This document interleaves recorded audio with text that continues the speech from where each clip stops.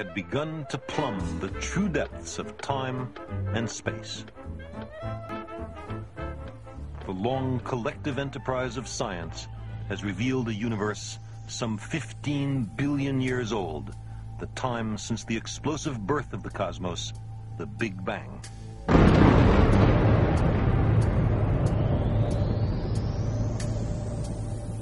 The cosmic calendar compresses the local history of the universe into a single year. If the universe began on January 1st, it was not until May that the Milky Way formed. Other planetary systems may have appeared in June, July, and August, but our Sun and Earth not until mid-September. Life arose soon after. Everything humans have ever done occurred in that bright speck at the lower right of the cosmic calendar.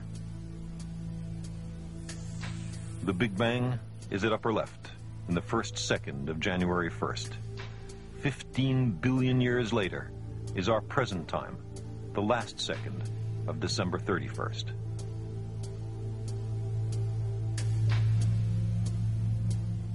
Every month is one and a quarter billion years long. Each day represents 40 million years. Each second stands for some 500 years of our history, the blinking of an eye in the drama of cosmic time.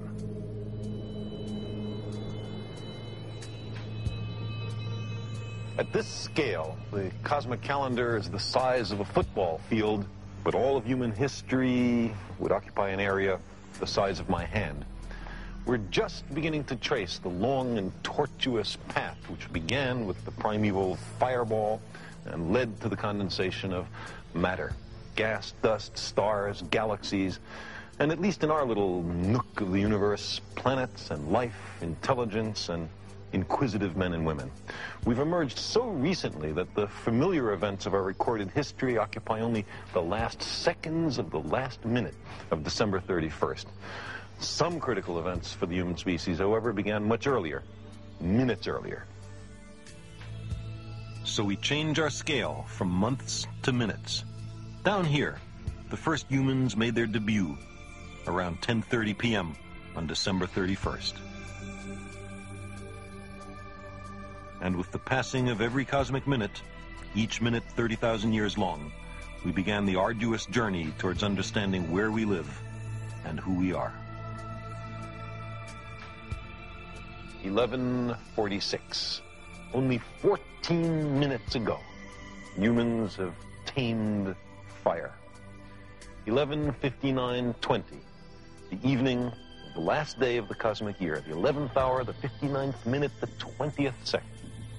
The domestication of plants and animals begins. An application of the human talent for making tools.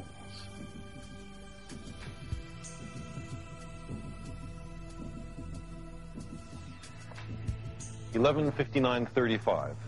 Settled agricultural communities evolve into the first cities.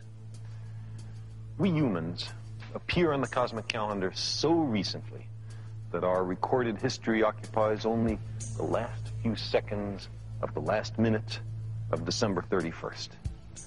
In the vast ocean of time which this calendar represents, all our memories are confined to this small square. Every person we've ever heard of lived somewhere in there.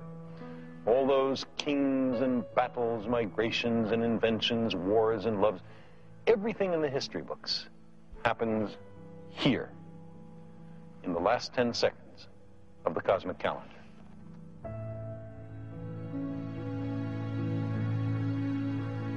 We on Earth have just awakened to the great oceans of space and time from which we have emerged.